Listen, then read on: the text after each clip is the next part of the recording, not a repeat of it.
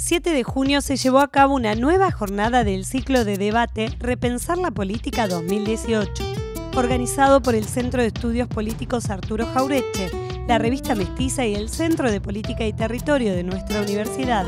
Esta vez contó con la participación del sociólogo Gabriel Gomaro. El encuentro tuvo como eje el libro La larga marcha de Cambiemos, en el que Bomaro analiza la construcción política que llevó al poder a este partido.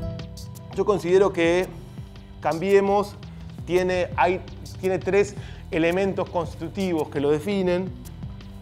Uno es, bueno, dos que ya mencioné. Uno es ser por fin un proyecto político, un partido político de centro derecha con vocación competitiva electoralmente y con vocación de poder. El segundo es ser la nueva esperanza y el nuevo proyecto del no peronismo y en ese punto ser una oportunidad histórica también para el radicalismo que había estado lejos del poder durante mucho tiempo. Y en tercer lugar, como dije recién, el producto de una reacción que uno puede llamar antipopulista que se produce en los últimos años del kirchnerismo y que expresa esta, este componente reaccionario en términos técnicos del término y no, no peyorativos, reaccionarios, de Cambiemos como gobierno que eh, viene justamente a eh, restituir una especie de orden de cosas eh, desviado. El kirchnerismo parecía un movimiento sólido, consistente con la dureza de esta piedra, de esta, esta madera, perdón, este, cuando estaba en el poder. Cuando sale del poder se nota mucho más que era un conjunto de grupos articulados desde el gobierno y que fuera del gobierno es más complicado juntar todo eso. Bueno, en buena parte, cambiemos hoy, desde el poder tienen los instrumentos de política pública, los instrumentos de poder para juntar cosas y tener mucha más consistencia que quizás fuera el poder no, no sería así. Entonces digo, el modo de construir esa, digamos, de suplir la fractura, la fragmentación y la debilidad es muchas veces con los, con los instrumentos de la gestión pública y del Estado y el, y el poder.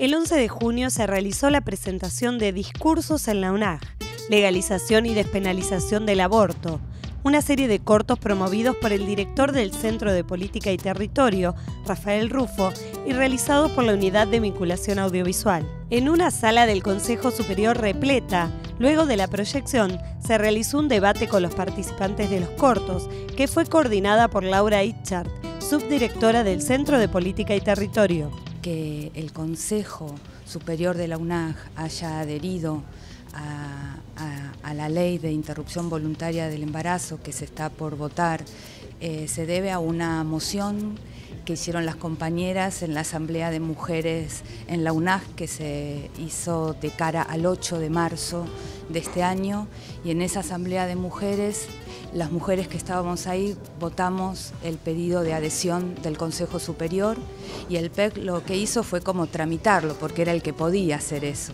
Así que nada, en este caso como vehículos de esa demanda de, las mujeres reunidas en la Asamblea del 8 de marzo. A partir de, la adhesión, el PEC participó y apoyó distintas eh, iniciativas para llevar la discusión del aborto no punible en las aulas de la universidad. Em, participó junto con el programa de salud comunitaria, eh, apoyó el curso que organizó Católicas por el Derecho a Decidir, un curso de posgrado organizado por el Instituto de Salud y el PEG lo apoyó. Eh, bueno, y ahora estamos acá apoyando a los compañeros y las compañeras de la unidad audiovisual del Centro de Política y Territorio que organizaron estos spots este, que reflejan un poco el debate en, en la UNAG. Bueno, el aborto es un tema que entra a la universidad por distintas vías. Entró este, por un reclamo de los estudiantes, por un reclamo del programa de estudios de género y por un reclamo de la sociedad. La universidad no es ajena a esos, a esos reclamos, así que es un tema que está en debate, que está en, ebullición y nosotros como representantes del Instituto de Ciencias de la Salud metimos también el debate dentro este, del instituto, de las carreras, de los programas. Así que es un debate que nos atraviesa a todos. Hay diferentes maneras de incentivar, de motivar. Muchas veces las lecturas en estos casos son más importantes las historias que, los conceptos. Así que bueno, es un buen mecanismo que nos sirve mucho para, para los estudiantes para incentivarlos y motivarlos. Convocaron este, para, para el debate en la Cámara, en el Congreso, este, y bueno, es una experiencia importante, creo que todos sumamos un, un granito de arena. La perspectiva nuestra fue de la perspectiva de la salud pública, por qué es importante que, que se apruebe la ley, en qué condiciones. Así que bueno, esperemos que haya servido y que los diputados estén a la altura del momento.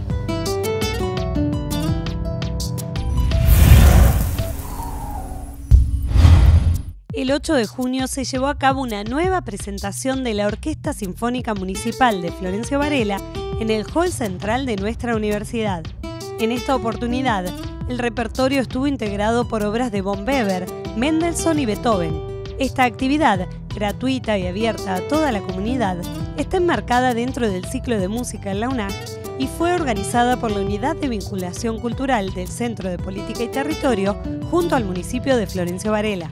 Bueno, yo entré en agosto del año pasado como subdirector acá en la Orquesta Sinfónica de Florencio Varela. Este es mi segundo concierto en la UNAG como asistente, así que estoy súper contento. Hemos hecho un repertorio muy complicado, muy cansador y muy exigido, que a la orquesta le viene bárbaro. Eh, y que no va a ser gusto a poco porque lo vamos a repetir el día 4 de agosto en el Centro Cultural Kirchner, en Capital Federal.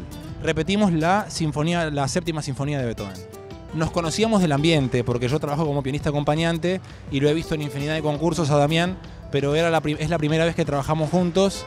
Nos juntamos dos o tres veces y ya el acuerdo fue mutuo y muy rápido y fue realmente un placer acompañarlo en este concierto tan lindo que es el concierto de Mendelssohn.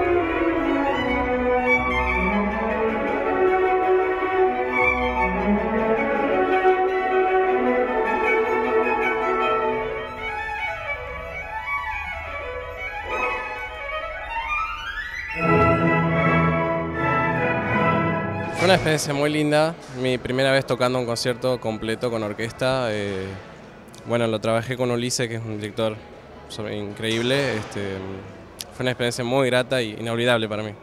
Ahora lo que tengo próximo es el 23 de junio en el CCK, eh, un concierto de cámara.